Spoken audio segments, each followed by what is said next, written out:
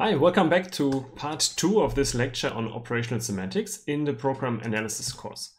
So what we'll do in this second part is to now um, define the abstract syntax of a language, which is called SIMP for simple imperative language. And this will be the basis of eventually defining the semantics of this language. Um, but before going into the semantics, we first have to define the syntax so that you know what kinds of programs are actually part of the language. So SIMP is a toy language. It's not a real programming language that people have implemented and use, but it's um, just a simple imperative language that has been created for the purpose of um, yeah, showing how you can define the meaning of a language. It nevertheless has a couple of features that you'll know from um, normal programming languages. In particular, it does have assignments, so you can assign some values to some variables. Um, it supports sequencing, which essentially just means that you can have um, one statement followed by another. It also has conditionals, which means you can have branches and depending on the outcome of some conditional expression, either go this way or that way. It'll also have loops, so you can execute things um, many, many times.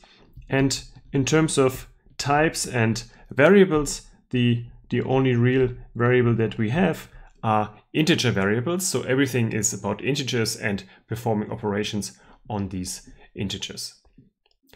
Now, in order to define what is part of this language, we're going to define its abstract syntax. So we're not going to define a concrete syntax. I will use a concrete syntax um, on some of the slides, but what we'll define here is just the abstract syntax and the concrete syntax, um, yeah, you can derive it from the way I'm using that language.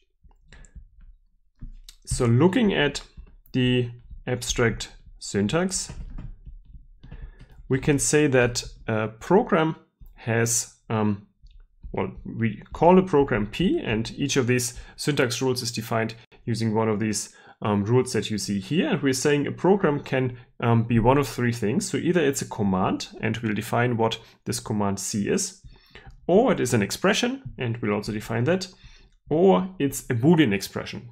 So the expressions E are integer expressions. They do evaluate to an integer number, whereas the expressions B are Boolean expressions, which means they evaluate to either true or false.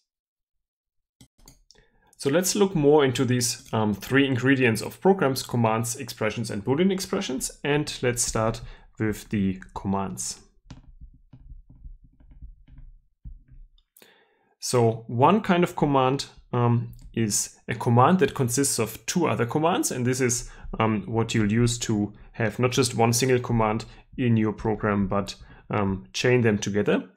And this is therefore called a sequence. So you essentially take a command C1, put a semicolon in between, and then have another command C2.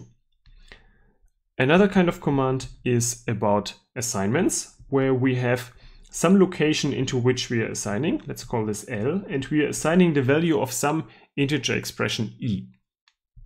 So what this is, is an assignment of an expression E to some label or location L. Then I also said we have conditionals in our language and the abstract syntax for this is that we have a node in the abstract syntax tree called if, which has three children. One for a Boolean expression that determines whether we go left or right.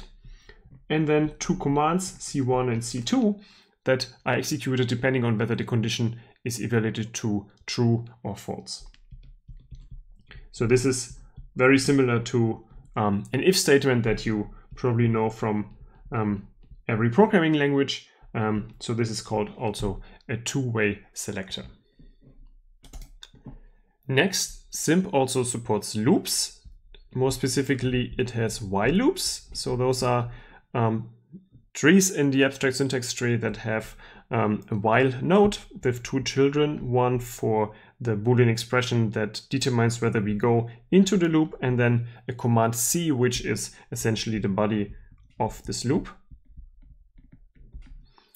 And then finally, we have the most simple um, kind of command in this language, which is called skip. And skip does exactly what the name suggests, um, which is um, that it, it's doing nothing.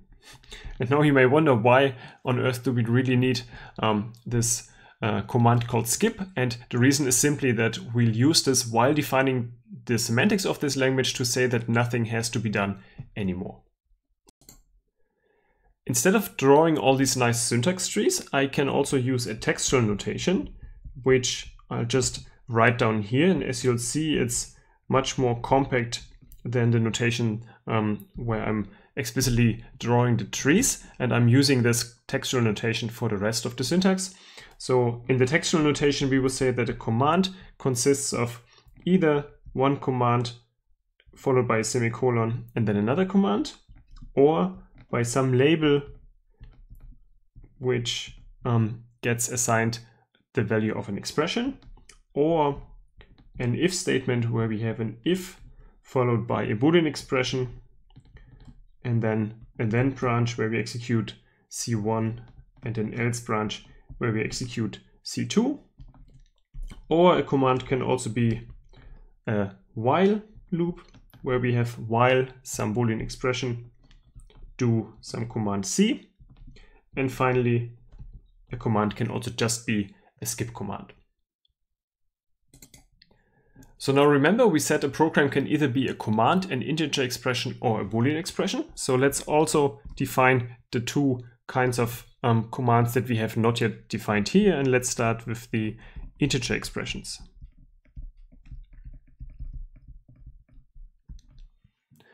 So an integer expression is denoted with e and now we use the textual syntax to define what kinds of integer expressions our language supports. So one of them is this exclamation mark followed by L, which essentially means we are loading the value stored at some location or denoted with some label. Um, or we can have an integer expression that is simply a number. Or we can have a more complex integer expression by taking some expression and combining it through an operator with another expression. Now let's also look at what these different symbols mean. So first of all, this op can be one of the following operators. It could be a plus or a minus or multiplication or division. And then I'm using some more symbols here. So n is just any integer. L is a label or also called location within a set of um, memory locations L. So this um, is a set of locations L1, L2, oh, sorry, L0, L1 and so on of memory locations.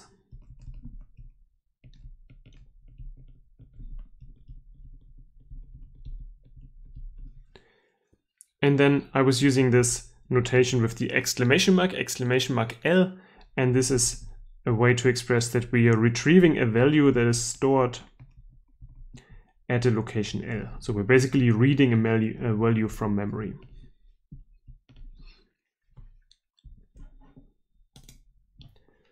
And finally, our language also has Boolean expressions. So let's also define how they look like.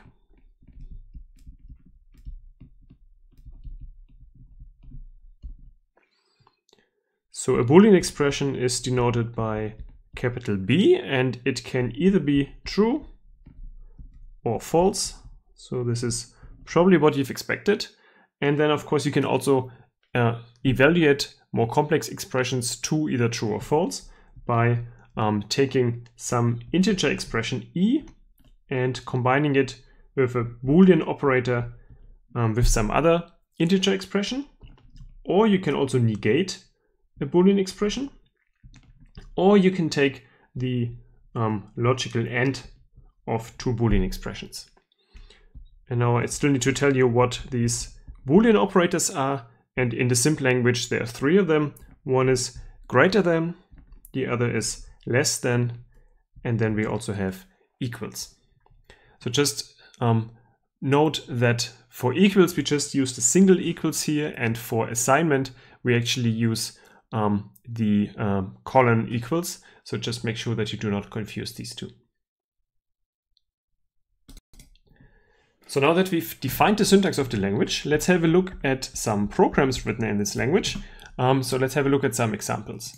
So one um, program is the following, where we say there's a variable z and we are assigning the value of x to it, and then have a semicolon. So we have some statements that follow afterwards. And um, these will be two statements, which just to um, show how this is passed into the abstract syntax tree, I'll, I'll put parentheses around. And the first of those is taking the value that is currently stored in y and assigns it to x. And then the second statement is taking the value that is currently stored in z and assigns it to y. So now you can stop the video for a second and maybe think about what this program is actually doing. And what it is doing is to swap the values that are in x and y by using z just as a temporary variable. So now this uses a concrete syntax to write down um, a specific program. And um, once we have a program, we can represent it um, using our abstract syntax by drawing uh, an abstract syntax tree. So let's just do this. Um, the top level element here will be the semicolon, which is the first semicolon um, in the program. It has two children for the two commands that are chained together using this semicolon. And the first of them is this assignment that you see at the beginning, where we have on the left side the variable z and on the right side this read of the variable x. And on the um, right side of this first um, sequence put together through a semicolon, we have two more commands that each happen to be another assignment. One that assigns the value of y to x and another one that assigns the value of z to y. So this here now is the complete AST for this little SIMP program.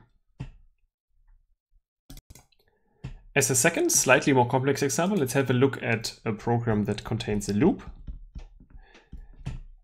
And in the second example, we're using then our while construct, where we define some condition, which here happens to be that the value of L needs to be larger than zero. And while this is the case, we want to do the following. So first of all, we want to assign something to um, a variable or label f, where we take the old value of f and then multiply it with the current value of L.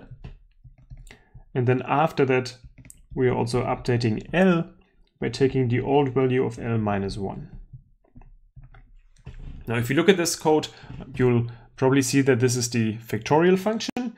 Let's now have a look at how this is represented in our abstract syntax. And again, this is a point in the lecture where you may want to stop the video and just try it yourself and really draw it to double check that you've understood um, this, th these ideas. So the AST for this piece of code will have um, a while loop node at the very top because that's the um, outermost um, structural element here. And then as you've seen, while nodes have two children, one for the condition and one for the body. So the one for the condition happens to be a Boolean expression, which uses this Boolean operator greater than, which has two children, um, namely um, the integer expression that will return the value of L and this other integer expression that returns just the number zero. And then in the while loop, we have a command, and this command happens to be a sequence of two commands. So we have the semicolon, and each of these commands is an assignment. One that assigns to f, and on the right side, we have some integer expression that evaluates to a value that is then assigned to f. And this integer expression uses this um, operator for multiplication, which takes two operands, namely the value of f and the value of L. And now let's have a look at the uh, remaining part of the tree, so this other assignment, which is writing into location L. And what it is writing is also the result of an integer expression where we take the minus operator and apply it to the value of L and to 1. All right, so this is already the end of the second part of the lecture on operational semantics. You now know the syntax of our little simple language, and in the next parts of the lecture, we'll actually assign some semantics, some meaning to the syntax so that we can um, also say what these programs really mean. So, so far we've only defined how programs look like, and the next step is to define their meaning. Thank you very much for listening and see you next time.